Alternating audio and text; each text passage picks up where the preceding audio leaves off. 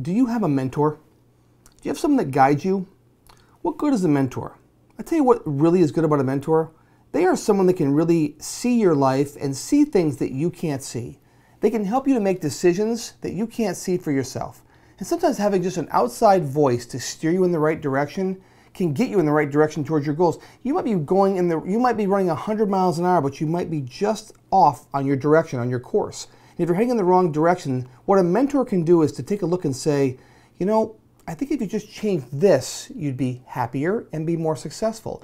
And a lot of times the mentor can see things that you can't see. They have a perspective that you don't have when you're in the thick of it and the grind of getting towards your goal. So I encourage you, if you don't have a mentor, find a mentor. Where do you find one? Well, certainly if you're in real estate investing, give us a call. We have coaching that we help people all the time. Amber and I love that part of our business.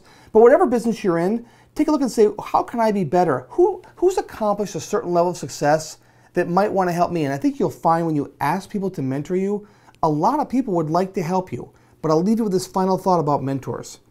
Be careful who you take advice from because you might wind up just like them.